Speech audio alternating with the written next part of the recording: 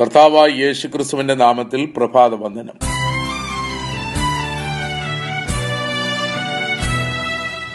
യോഹനാന്റെ സുവിശേഷം പതിനാറാം അധ്യായം പതിമൂന്നാം വാക്യം. സത്യത്തിന്റെ ആത്മാവ് വരുമ്പോഴോ അവൻ നിങ്ങളെ സകല സത്യത്തിലും വഴിനിർത്തും. അവൻ സ്വയമായി സംസാരിക്കാതെ താൻ കേൾക്കുന്നത് സംസാരിക്കുകയും വരുവാനുള്ളത് നിങ്ങൾക്ക് അറിയിച്ചു തരികയും ചെയ്യും. പരിശുദ്ധാത്മാവ് വഴികാട്ടിയും അപ്പോൾ തന്നെ നല്ലൊരു അധ്യാപകനുമാണ്. പല കാലങ്ങളിലായി പല ഗുരുക്കന്മാരിൽ നിന്നുമാണ് നമുക്ക് വിജ്ഞാനവും വിവേകവും ലഭിക്കുവാൻ ഇടയായിട്ടുള്ളത്. എന്നാൽ എല്ലാം അറിയാവുന്ന ഗുരുക്കന്മാർ ആരും തന്നെ ഭൂമിയിൽ ഇല്ല എന്നത് സത്യമായ വസ്തുതയാണ്. അറിവുള്ളവർ തന്നെ അറിയേണ്ട പലതും അറിഞ്ഞിട്ടില്ല എന്നുള്ളതും പരമാർത്ഥമാണ്. മനുഷ്യൻ നശ്വരനാണെന്നും നിത്യമായ ഒരു ആത്മാവ് അവനിൽ ഉണ്ടെന്നും ആ നിത്യതയ്ക്ക് വേണ്ട സകല സത്യങ്ങളും വെളിപ്പെടുത്തി ശരിയായ വഴിയിൽ നമ്മെ നയിക്കാൻ കഴിയുന്ന ഗുരുവും വഴികാട്ടിയുമാണ് പരിശുദ്ധാത്മാവ്. നമുക്കൊരു വഴികാട്ടി ആവശ്യമാണ്. എന്തെന്നാൽ ശരിയായ വഴി തിരഞ്ഞെടുക്കുന്നതിനും തെറ്റായ വഴിയിൽ നിന്ന് മടങ്ങി വരുന്നതിനും വഴികാട്ടിയുടെ സഹായം ആവശ്യമാണ്. ഓരോ വഴിക്കും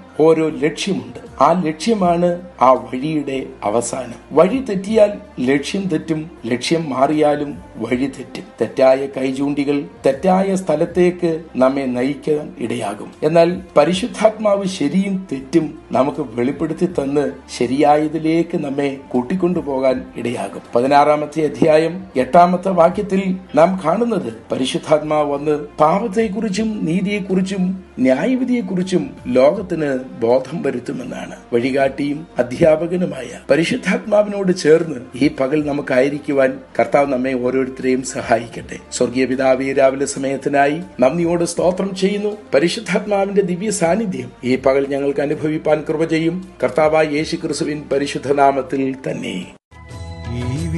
ഈ പരിപാലിക്കപ്പെട്ടിടാൻ ദൈവാത്മാവേ വന്നെന്നീ.